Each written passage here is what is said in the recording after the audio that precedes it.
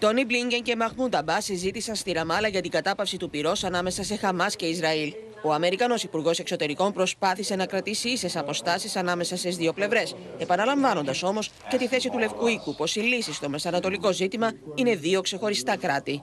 We will, as uh, the President uh, noted, uh, continue to firmly oppose any unilateral or provocative actions uh, that risk sparking more violence and that uh, undermine prospects for a just, uh, durable resolution of the conflict between Palestinians and Israelis, uh, which ultimately uh, requires two states. Μάλιστα, ο Τόνι Μπλίνκεν εξέφρασε την πρόθεση του Λευκού Οίκου να ανοίξει και πάλι το προξενείο των Ηνωμένων Πολιτειών στην Ιερουσαλήμ, την Αμερικανική διπλωματική αντιπροσωπεία που εξυπηρετούσε του Παλαιστίνιου.